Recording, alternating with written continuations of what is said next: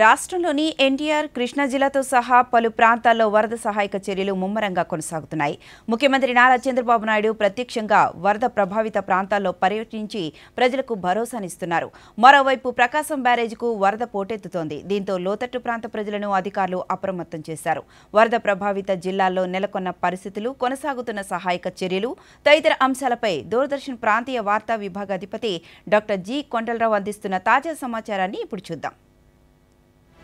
అధిక ఉష్ణోగ్రతలకు పేరుగాంచిన బ్లేజ్వాడ్గా పిలువబడే విజయవాడలో పరిస్థితి పూర్తిగా మారిపోయింది. నేడు ప్రజలంతా కృష్ణమ్మ ఉగ్రరూపం చూస్తున్నారు. అటు కృష్ణా నదీ జలాలు ఇటు బయట ప్రాంతాల నుంచి చుట్టూ చేరిన వరద నీరు సుమారు సమాంతరంగా చేరాయా అన్నట్టుగా ఉంది పరిస్థితి.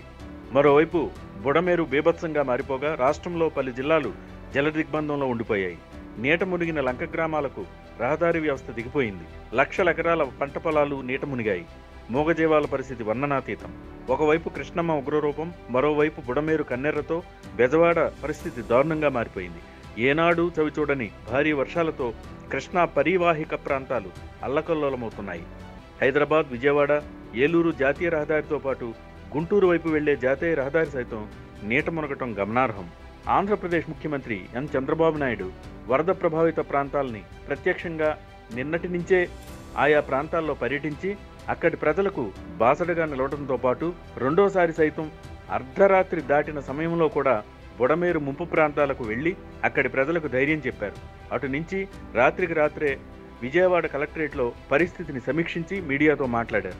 మరోవైపు ఈ ఉదయాన్నే అజిత్ సింగ్ నగర్ తదితర ప్రాంతాలను మంత్రులు యంత్రాంగంతో పర్యటించి వరదల్లో ఇబ్బంది పడుతున్న వారికి ఆహార పదార్థాలను అందించే కార్యక్రమంలో ప్రత్యక్షంగా పాల్గొన్నారు.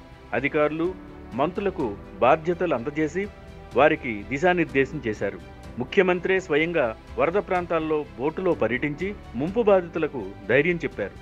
మరలా మరలా పర్యటిస్తూ వారికి ధైర్యం చెబుతూ నిత్యావసరాలను వారికి అందిస్తున్నారు. వరద బాధితులకు సహాయ చర్యల విషయంలో జాప్యాన్ని సహించేది లేదని సీఎం చంద్రబాబు నాయుడు హెచ్చరించారు. కలెక్టర్లు విస్తృత అధికారాలను వినియోగించాలని ఆయన సూచించారు. ముఖ్యమంత్రి విజ్ఞప్తి మేరకు నలభై పవర్ బోట్లు హెలికాప్టర్లు రంగంలోకి దిగాయి. కృష్ణానదిపై ప్రకాశం బ్యారేజీ వరద ఉధృతి తీవ్రంగా మారుతోంది. గంట గంటకి వరద పెరుగుతోంది. ఇప్పటికీ రెండో ప్రమాద హెచ్చరిక కొనసాగుతోంది. ఎలాంటి విపత్కర పరిస్థితుల్లో ప్రజలంతా అప్రమత్తంగా ఉండాల్సిన అవసరం ఎంతైనా ఉంది.